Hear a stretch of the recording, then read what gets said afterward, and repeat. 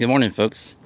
I haven't had a lot of time to be out here in the Brewster Pool in my home waters this summer. I've been chasing kokanee all over, but uh, it's really a remarkable year. There's over 650,000 sockeye returned to the Columbia this year. It's the second largest run ever. And uh, we've really seen a, just a dramatic change in this fishery in the last decade. You know, in the in the late 90s, early 2000s, there was around 20,000 sockeye returned into the Columbia annually. And starting in the 2010s and to, up to modern day, uh, the runs have really been increasing. You know, we I've seen averages closer to 200,000 fish, which is pretty remarkable recovery for salmon fishery, especially in a time when uh, there seems to be less positive stories like that, especially with uh, Chinook struggling and uh, less success with coho. But we've really seen a really strong bounce back in this fishery. So we'll see if we can't find a few today. Uh, limits four. Hopefully they'll start biting soon.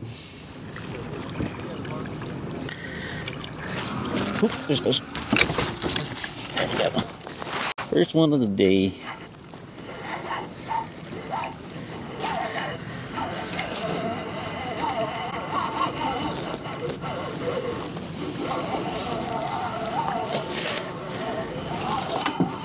Now these sockeye don't grow to very large sizes compared to like Alaska sockeye. They'll just be in the two to six pound range.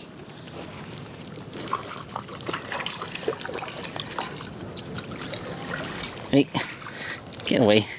Oh no. Hung up in my freaking thing. There we go. That one. That one was at three ounces, 25 feet of line out on a pink spinner. Dang it.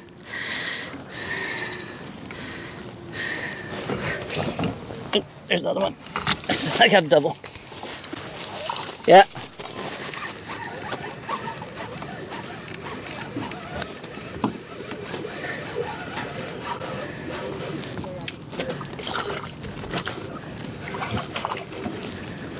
I don't know why they stopped.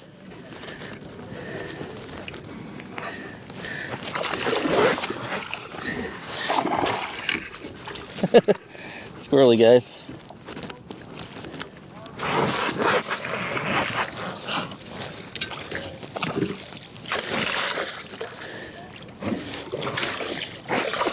There we go, two in the net. That's crazy. That was on a pink hoochie a little bit bigger fish. So last time we had to run this large, it was unfortunately extremely hot in the river, Columbia River, all the way up. Uh, was lethally warm in a lot of places, and we lost about 200,000 fish uh, in the river. This fishery is really unique in that it's basically a giant fish trap because these fish want to swim up the Okanagan River to Lake Osoyoos to spawn. But the, every summer the river gets lethally warm and it basically traps them here in the Brewster Pool with this cold Columbia River water until the first rains in the fall. So it's a giant fish trap essentially. All right, so there's my double to start the morning. Not too bad. But yeah, sort of average sizes. They're not giant, you know, two pounds, maybe four. So to catch these, we just use, I'll show you the different rigs here. This is a, a Roy 2 Dodger I got here that I taped up. Pink hoochie, red hooks, about 12 inch leader, size 1 aught. I'm using Matsuo sickle hooks. And I put a piece of coon shrimp on it.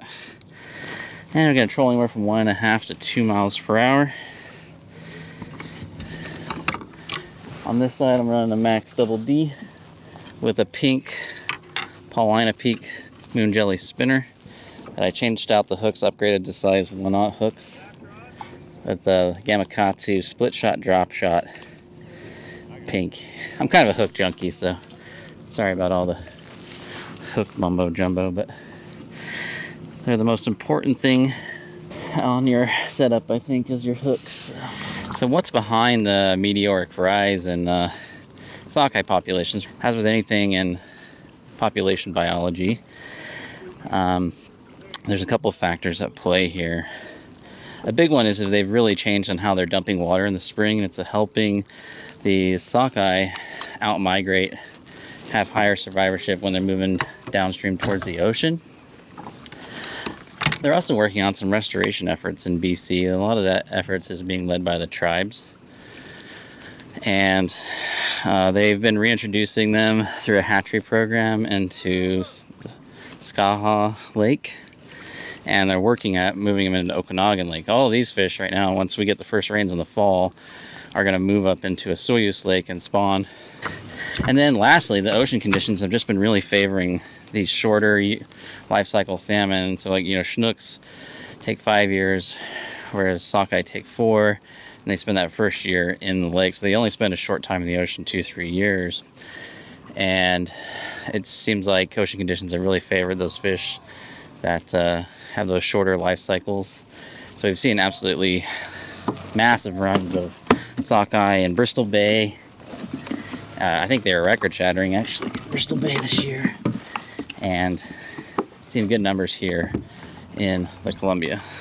So all these sockeye here will be wild. Um, there isn't really much of a hatchery program for sockeye in the upper Columbia because most of these fish are just wild spawn. Like I said, they do have a small hatchery program working to uh, restore these fish into Skaha and Okanagan lakes. But most of these fish are just wild born Oop. No, the bite.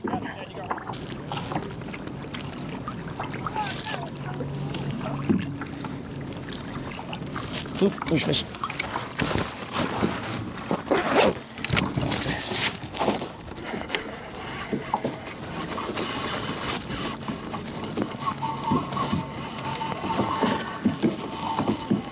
Cinder has one on and I got one too here. Get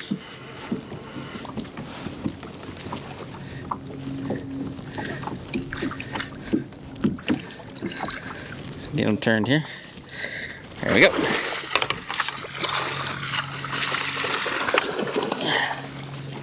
Another one of these fish in a barrel. Once the first fall rains come, these fish will bolt up the Okanagan and get going on their way.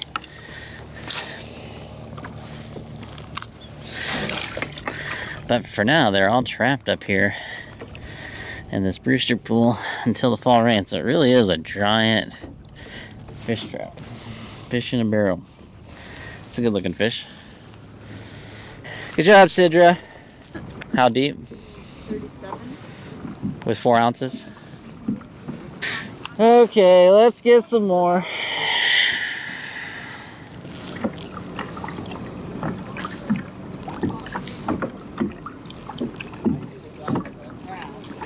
Oh, there was a bite there.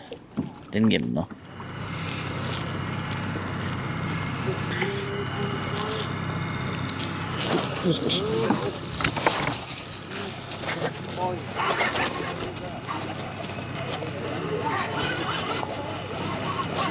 Now, historically, the runs were upwards of 3 million, but uh, don't think we're going to get there until we get the Snake River dams out and get another half million at least in the Snake River.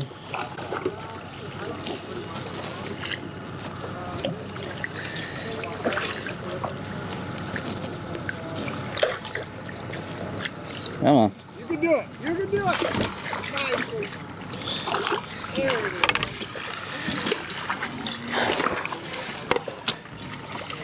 That's number four for me. And my limit for the day. All right, so there's my fourth fish of the day. Pretty exciting, very easy limit this morning, 640 and I'm done. Uh, but just really cool to see this fishery coming back. There's a lot of sad stories when it comes to Columbia River salmon, but uh, we are seeing progress with species like sockeye. Um, as a variety of agencies, organizations, tribes, and governments make the right decisions and really help these fish out, hopefully they keep coming back in even bigger numbers as we go. These things that cut absolutely amazing. I'll show you here. Uh, they're just vibrant red, very firm meat. They have a great texture and taste. So if you have any questions about this fishery, just let me know. I also have a bunch of videos on how to target these fish and especially some specific ones for kayaking, which It's a great uh, kayak fishery. It will depend on water temperatures, how well it lasts into the season. With really cold water from good uh, snowpack and a relatively mild summer, um, these fish uh, will maintain their quality through most of August.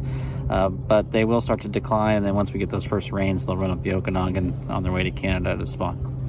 All right, if you have any questions, just let me know in the comment section below, and I'll get back to you. All right, bye.